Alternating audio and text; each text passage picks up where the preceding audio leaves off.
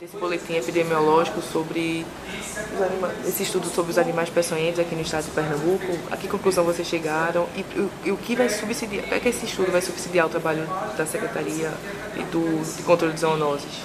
Nós fizemos um estudo de cinco anos, onde mostrou que 78% da, da, dos acidentes por animais peçonhentos são por escorpião. A área mais atingida foi Zona da Mata, região metropolitana, e acidentes por serpentes foi o sertão pernambucano. O objetivo desse estudo é subsidiar as ações para um planejamento relacionado à vigilância e controle dos acidentes por animais peçonhentos.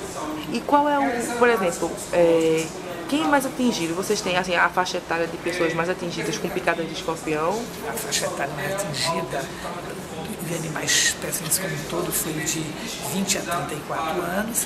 O sexo predominante para serpentes foi o masculino e para escorpião foi, foi o feminino. E os óbitos ocorreram por escorpião em crianças de 2 a 7 anos.